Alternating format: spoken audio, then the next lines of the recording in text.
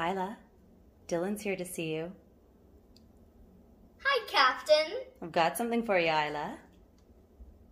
It's from the high seas. You can add it to your collection.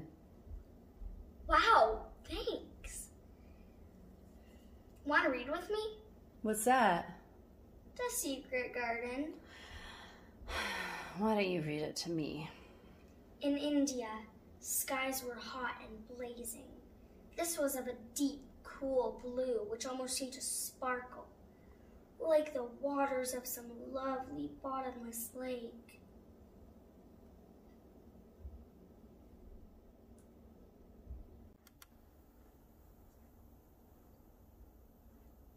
You ever seen a Mainlander? No? Why? Just curious. I heard him though, back when we had the port radio. What did they sound like? Same as us, I suppose. What? What are you doing? Hide behind that tree. Are you crazy?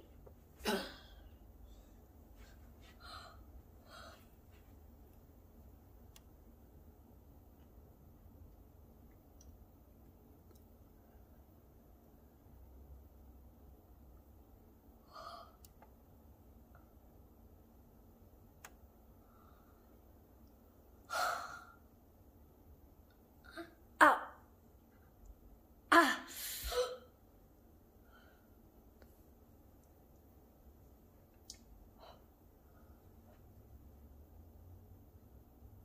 What happened?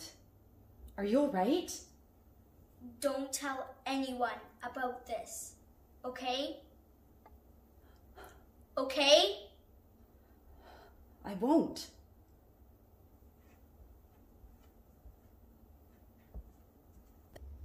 Isn't it splendid to think of all the things there are to find out about?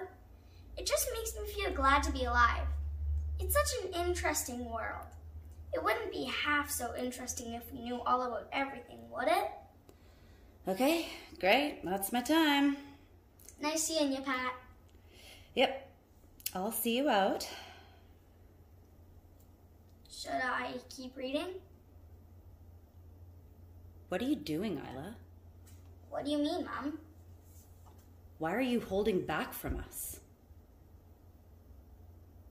Grace, I'm not doing anything, I swear. I don't believe you. I don't believe you. Grace, stop it. I don't think I want to do the visitations anymore. It's okay, sweet pea. Mommy didn't mean anything by it, okay?